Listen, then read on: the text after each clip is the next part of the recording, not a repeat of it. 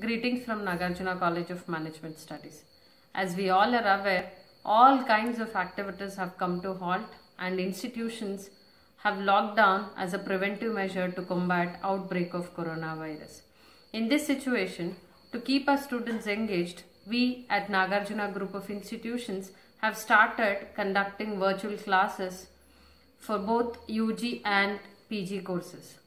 And these virtual classes are conducted using various online platforms and applications. Faculty members are able to deliver virtual classes effectively. Students are very enthusiastic and their attendance to these classes is excellent. I hope students will continue to enjoy these virtual classes. I request everybody to be safe, stay at home, maintain social distancing. Thank you.